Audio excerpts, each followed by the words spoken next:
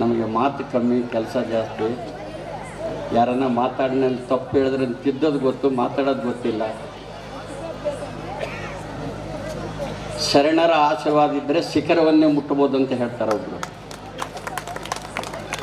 ಏನೇನೋ ತಪ್ಪು ಮಾಡಿ, ಸುಳ್ಳು ಹೇಳಿ, ಎಲ್ಲೆಲ್ಲೋ ಏನೇನೋ ಮಾಡ್ಕೊಂಬಂದಿರ್ತೀವಿ ಚಿಕ್ಕ ವಯಸ್ಸಿನಿಂದ, ಗೊತ್ತಿರಲ್ಲ. ಗೊತ್ತಾದ್ಮೇಲೆ ಮಾಡಿದ್ರೆ ಮಾತ್ರ ಅದು ಕ್ಷಮೆನೇ ಇಲ್ಲಂತೆ. ಹಾಗೂ ಬಂದು ಇಲ್ಲಿ ತಪ್ಪು ಮಾಡಿಬಿಟ್ಟಿದ್ದೀನಿ, ಕ್ಷಮೆ ಆಗಿದೆ, ನನಗೆ ಆಶೀರ್ವದಿಸಿ, ನಮ್ಮ ಮನೆಗೆ ಇಷ್ಟು ಸಮಸ್ಯೆ ಇದೆ ಅಂತ ಕೇಳಿ ಬಂದ್ರೂ ಇಲ್ಲಿ ಬಗೆಹರಿಸ್ತಕ್ಕಂಥ ಕ್ಷೇತ್ರ ಅಂದರೆ ನಂದಿಪುರ ಅಜ್ಜ ಅಂತ ಕೇಳಿದ್ದೀನಿ. ಅಂಥ ಶರಣರು, ನನಗೆ ಒಂದು ಸಲ ಯೋಚನೆ ಆಯ್ತು. ಶರಣರು ಇವರು ಎಲ್ಲಿಂದ ಬರ್ತಾರೆ, ಹೇಗೆ ಬರ್ತಾರೆ ಭೂಲೋಕಕ್ಕೆ ಅಂತೇಳಿ. ಸೊ ಪರಮಾತ್ಮನ ಅಂಶ ಇರಬೇಕು, ಪರಮಾತ್ಮನ ಒಂದು ಇದಿರಬೇಕು. ಓದ್ ಜನ್ಮದಲ್ಲಿ ಏನೋ ಒಂದು ಮಹಾನ್ ತಪಸ್ವಿಯಾಗಿ ಬಂದು ಈಗ ನೋಡಪ್ಪ, ನೀನು ಹೋಗಿ ಭೂಲೋಕಕ್ಕೆ ಹೋಗಿ, ಜನಗಳ ಸೇವೆನೇ ಜನಾರ್ದನ ಸೇವೆ ಅಂತ ಮಾಡು. ಆವಾಗ ನಿನಗೆ ಮೋಕ್ಷ ಸಿಗುತ್ತಂತೆ ಅಂತ ಕಳಿಸಿರ್ಬೋದು ಇಂಥ ಶರಣರಂತ ನನಗೆ ಅನಿಸ್ತದೆ. ಯಾಕೆಂದರೆ ರಾಜ್ಕುಮಾರ್ ಅವಾಗ ಹೇಳ್ತಾ ಇದ್ರು ಇಂಥ ಒಂದು ಕೆಲವೊಂದು ವಿಷಯಗಳು. ಅವರು ಭಾಳ ಆಧ್ಯಾತ್ಮಿಕ ಚಿಂತಕರು. ಯಾರು ಮನಸ್ಸನ್ನು ವಹಿಸಬಾರ್ದು ಎಲ್ಲರೂ ಹೃದಯದಲ್ಲಿ ಪರಮಾತ್ಮ ಇರ್ತಾನಂತ ಹೇಳ್ತಾ ಇದ್ರು ರಾಜ್ಕುಮಾರ್ ಅವರು. ನಾವು ಅಸ್ಟೆಂಟ್ ಡೈರೆಕ್ಟರ್ ಆಗಿದ್ದಾಗ, ನಾನು ಡೈರೆಕ್ಟ್ ಮಾಡಿಲ್ಲ ಅವರು. ಅಸ್ಟೆಂಟ್ ಡೈರೆಕ್ಟರ್ ಮಾಡಿದ್ದೀನಿ. ಯಾರನ್ನ ಡೈಲಾಗ್ ಕೇಳಕ್ಕೆ ಬರಲಾರ್ದಾಗೆ ಮದ್ರಾಸ್ನಲ್ಲಿ, ಶಕ್ತಿನಲ್ಲಿ ಕಾಳಿದಾಸ, ಪ್ರಹ್ಲಾದ ವರ್ಕ್ ಮಾಡಿ ಚಿಕ್ಕಣ್ಣ ಕಂಪ್ನಿ ಅಂತ ಇರ್ತಿತ್ತು ಅದರಲ್ಲಿ ನನ್ನ ಸಹ ನಿರ್ದೇಶನದಲ್ಲಿ. ಏ, ಯಾ, ಎಲ್ಲಿಂದ ಕರ್ಕೊಂಬಂದ್ರಿ? ಯಾಕೆ ಕರ್ಕೊಂಬಂದ್ರಿ ಇವ್ರನ್ನೆಲ್ಲ? ಡೈಲಾಗ್ ಹೇಳಕ್ಕೆ ಬರಲ್ಲ. ತಪ್ಪು ತಪ್ಪಾಗಿ ಹೇಳ್ತಾರೆ. ಆಮೇಲೆ ಕ್ಯಾಮ್ರಾ ನೋಡ್ತಾರೆ ಅಂತ ಹೇಳಿದಾಗೆ ಹಿಂದ್ಗಡೆ ನಿಂತಿದ್ರು ಅವರು.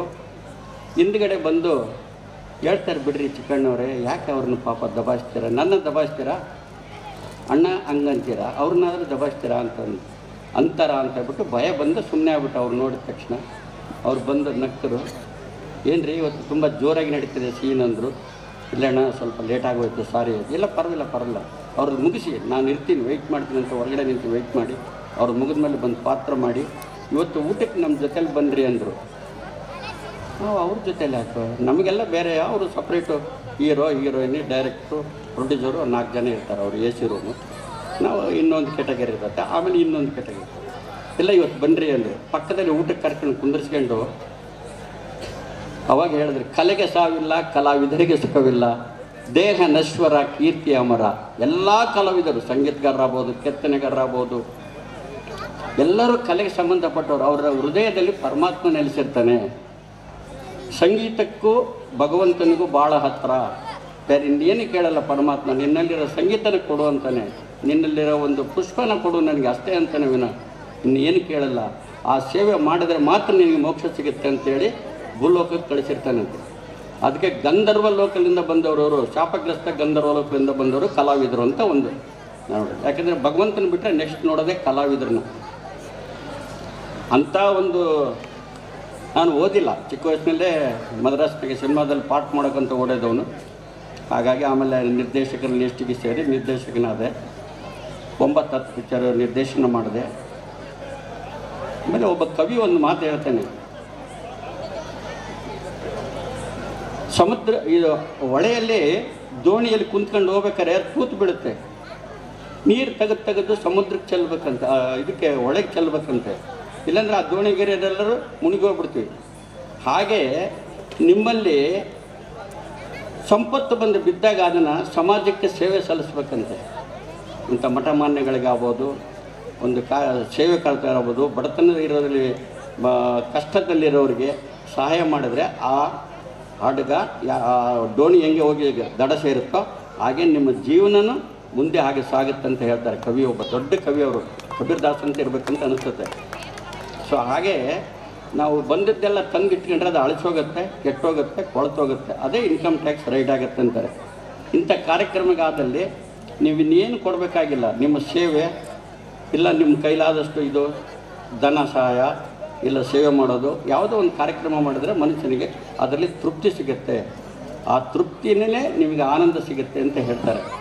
ಸೊ ಹಾಗಾಗಿ ಇಂಥ ಅದು ಇವ್ರು ಹೇಳ್ದಂಗೆ ನಮ್ಮ ಫ್ರೀಡಮ್ ಸಾಹೇಬ್ರು ಹೇಳ್ದಂಗೆ ಮೇಡಮ್ ಹೇಳ್ದಂಗೆ ಭಾರತ ಎಂಥ ಪವಿತ್ರ ದೇಶ ಅಂದರೆ ಹನ್ನೆರಡನೇ ಶತಮಾನದಲ್ಲಿ ಅಕ್ಷರದಾಸೋ ಅನ್ನದಾಸೋ ನಡೆದಿದೆ. ಅದು ಇಡೀ ಜಗತ್ತಿನಾಗೆ ಎಲ್ಲಿ ಇಲ್ಲ. ಇಡೀ ಪ್ರಪಂಚದಲ್ಲಿ ಅನ್ನದಾಸೋಹ ಅಕ್ಷರದಾಸೋಹ ಎಲ್ಲಿ ನಡೆದಿಲ್ಲ. ಅದು ನಡೆದು ಭಾರತ. ಭಾರತದಲ್ಲಿ ಎಲ್ಲಿ? ಕರ್ನಾಟಕದಲ್ಲಿ. ಸೊ ಹಾಗಾಗಿ ಆ ಪರಂಪರೆ ಇನ್ನೂ ಬೆಳ್ಕೊಂಬಂದಿದೆ ಅಕ್ಷರ ಜ್ಞಾನ ಅನ್ನಜ್ಞಾನ ಅನ್ನದಾಸೋಹ ಇವು ಬರ್ತಬೇಕಂದ್ರೆ ನಮ್ಮ ಕರ್ನಾಟಕದಲ್ಲೇ ಮಾತ್ರ. ಅಂಥದನ್ನೇ ಇವರು ಕಲ್ಯಾಣ ಕರ್ನಾಟಕ ಅಂತ ಹೋರಾಡಿ ಇವತ್ತು ಒಂದು ಜ್ಞಾನ ಕರ್ನಾಟಕನ, ಕಲ್ಯಾಣ ಕರ್ನಾಟಕನ ಒಂದು ಇದು ಮಾಡಿದ್ದಾರೆ ಅಂದಮೇಲೆ ಅವರಿಗೆ ನಮ್ಮ ಅನಂತ ಅನಂತ ವಂದನೆಗಳನ್ನು ತಿಳಿಸುತ್ತಾ ನನಗೆ ಮಾತಾಡೋಕ್ಕೆ ಅವಕಾಶ ಕೊಟ್ಟ ನಮಗೆ ಮಾತು ಬರಲ್ಲ ಜಾಸ್ತಿ. ಏನಿದ್ರು ಕರೆಕ್ಷನ್ ಮಾಡೋರು ನಾವು ಡೈರೆಕ್ಷನಲ್ಲಿ ಹಾಗಾಗಿ ಆಮೇಲೆ ಇನ್ನೊಂದು ಏನಪ್ಪ ಅಂದರೆ, ಇದೇ ಫೆಬ್ರವರಿ ನನಗೆ ಇಲ್ಲಿ ಸನ್ಮಾನ ಆಯಿತು. ಇದೇ ಸಭೆಗೆ ಈ ಸ್ಟೇಜ್ ಇಂಥ ಸ್ಟೇಜಲ್ಲಿ ಅವತ್ತು ನಾನು ಈ ಮಠಕ್ಕೆ ಫಸ್ಟ್ ಟೈಮ್ ನಮ್ಮ ಎಸ್ ಪಿ ಪಾಟೀಲ್ರು ಕರೆಸಿದ್ರು. ಬಂದೆ, ಬಂದು ಅಲ್ಲಿ ಹೋಗಿ ಕೂತ್ಕೊಂಡು ನನಗೆ ರಾಜ್ಯ ಪ್ರಶಸ್ತಿ ಬೇಕು, ರಾಷ್ಟ್ರ ಪ್ರಶಸ್ತಿ ಬೇಕು ಅಂಥ ಉತ್ತಮ ಚಿತ್ರಗಳು ಮಾಡಬೇಕು, ಅಂತಾರಾಷ್ಟ್ರ ಮಟ್ಟದ ಫಿಲಿಮ್ ಫೆಸ್ಟಿವಲಲ್ಲಿ ಹೋಗಬೇಕು ಅಂತ ಆಸೆ ಇದೆ. ಅಂತ ಒಂದು ಇರಬೇಕಂತ ಬೇಕಂತ ಕೇಳಿ ಸ್ವಲ್ಪ ಹೊತ್ತಾದಮೇಲೆ ಬಂದು ಒಳಗಡೆ ಸರೆಂಡರ್ ಹತ್ರ ಕುಂತ್ಕೊಂಡು ಮಾತಾಡಿದಾಗ ದಾಸೋಹಕ್ಕೆ ಊಟಕ್ಕೆ ಹೋಗೋಣ ಬನ್ನಿ ಅಂದರು. ಊಟಕ್ಕೆ ಬರೋ ಹೊತ್ತಿನಾಗೆ ಬರ್ಗೂರು ರಾಮಚಂದ್ರಪ್ಪನವರು ಒಂದು ಫೋನ್ ಮಾಡಿದರು. ಚಿಕ್ಕಣ್ಣವರೇ, ಎಲ್ಲಿದ್ದೀರಿ ಅಂದರು. ಸರ್, ನಾನು ಬೇರೆ ಹೊರಗಡೆ ಇದ್ದೀನಿ ಔಟ್ ಆಫ್ ಟೇಷನ್ ಅಂತ ಹೇಳಿದೆ. ಹೌದಾ? ನಿಮ್ಮನ್ನು ಈ ವರ್ಷ ಎಸ್ ಪಿ ವರದರಾಜ ಪ್ರಶಸ್ತಿನ ಕೊಡಲಿಕ್ಕೆ ಐವತ್ತು ಸಾವಿರ ರೂಪಾಯಿ ಎಸ್ ಪಿ ವರದರಾಜ ಪ್ರಶಸ್ತಿ ಕೊಡ್ತಾ ಇದ್ವಿ ಅಂದರು. ವಿತಿನ್ ಟೂ ಅವರ್ಸ್ ಅವ ಪ್ರಶಸ್ತಿ ಬಂತು. ನನಗೆ ಮೈಯೆಲ್ಲ ಜುಮ್ ಅಂತು. ಅವತ್ತು ಮಾತಾಡೋಕ್ಕಾಗಲಿಲ್ಲ. ಸಭೆ ಜಾಸ್ತಿ ಇತ್ತು, ಜನಸಂಖ್ಯೆ ಜಾಸ್ತಿ ಟೈಮ್ ಆಗಿತ್ತು, ಹಾಗಾಗಿ ಹೇಳೋಕ್ಕಾಗಲ್ಲ. ಅದನ್ನು ಇವತ್ತು ಹಂಚ್ಕೊಂಡಿದ್ದೀನಿ. ಮತ್ತು ಇವತ್ತು ಬಂದಾಗ, ಇಲ್ಲಿ ಕರೆದಾಗ ಇವತ್ತು ಸೇಡಮ್ ಸಾಹೇಬರು ನಿಮಗೆ ಗುಲ್ಬರ್ಗದಲ್ಲಿ ಹತ್ತೊಂಬತ್ತನೇ ತಾರೀಕು ಒಂದು ಫಂಕ್ಷನ್ ಇದೆ. ಎಲ್ಲ ಚಿತ್ರರಂಗದವ್ರನ್ನ ಕರಿತಾ ಇದ್ದೀವಿ ಕಲಾವಿದರನ್ನ, ನಮ್ಮ ಕಲ್ಯಾಣ ಕರ್ನಾಟಕದವ್ರನ್ನಂದರು ಮತ್ತೊಂದು ಪ್ರಶಸ್ತಿ, ಇಲ್ಲೊಂದು ಸನ್ಮಾನ ಇದೆ. ಅದೆಲ್ಲ ಸರೆಂಡರ್ ಆಶೀರ್ವಾದ. ನಿಮ್ಮಂಥವ್ರ ಆಶೀರ್ವಾದ ಇರಲಿ ಅಂತೇಳಿ ಇನ್ನೂ ಉತ್ತಮ ಚಿತ್ರಗಳು ನಾನು ಕೊಡುಗೆ ಕೊಡಬೇಕು ಅನ್ನೋ ಆಸೆ ಇದೆ. ನನಗೂ ಈ ಎಪ್ಪತ್ತೇಳನೇ ವರ್ಷ ನಡೀತಾ ಇದೆ. ಇನ್ನೂ ಆರೋಗ್ಯ ಕೊಡಿ, ಇನ್ನೂ ನೂರು ವರ್ಷ ಬದುಕಬೇಕಂತ ಆಸೆ ಇದೆ. ಶರಣರ ಆಶೀರ್ವಾದ ಇರಲಿ ಅಂತೇಳಿ ನಿಮ್ಮೆಲ್ಲರೂ ನನಗೆ ಹಂಚಿಕೊಂಡು ನನ್ನ ಆಸೆನ ನೆರವೇರಿಸಿ ಅಂತ ಹೇಳ್ಬಿಟ್ಟು ನಿಮ್ಮ ಆಶೀರ್ವಾದನೂ ಇರಲಿ ಅಂತೇಳಿ ವಂದನೆಗಳನ್ನು ಮುಗಿಸ್ತೀನಿ.